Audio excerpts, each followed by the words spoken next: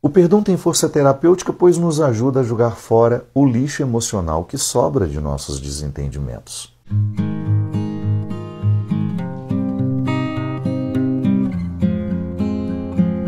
Perdoar é uma obrigação cristã. Jesus fala sobre isso no Evangelho de hoje.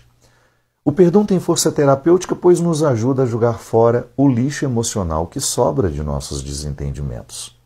Mas nem tudo é falta de perdão. Às vezes as pessoas insistem em pedir perdão, mas não há o que ser perdoado. O que há é uma decepção, uma percepção que indispõe à volta do convívio. Se fosse algo a ser perdoado, tudo bem. Se houve uma ofensa, uma traição, aí sim poderíamos perdoar e escolher se queremos ou não recomeçar com aquela pessoa. Mas quando o que houve foi uma quebra da ilusão, uma revelação que nos fez entender que há uma incompatibilidade e que a soma que resulta quando estamos juntos não é boa, não há o que fazer. Reconhecer inadequações é libertador, pois não somos obrigados a manter vínculos que já reconhecemos como nocivos.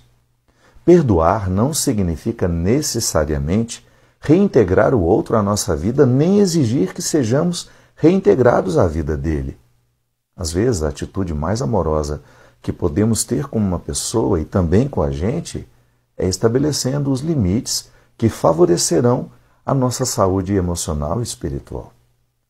Perdoar também é dizer adeus.